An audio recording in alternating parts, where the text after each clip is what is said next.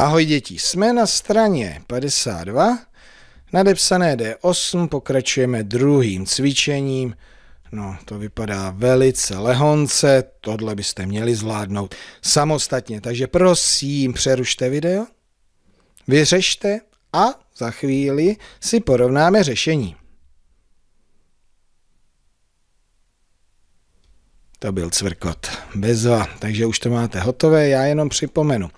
Přečetli jste zadání, spočítej a napiš. A teďka vlastně tyto rozklady odpovídají takovémuhle rozkladu. 10 rozložíme na 1 a 9. A tady je to jenom jinak napsáno. Tak, 10 rozložíme na 1 a 9, anebo také můžeme říci 1 a kolik chybí do 10. 3 a kolik chybí do 10.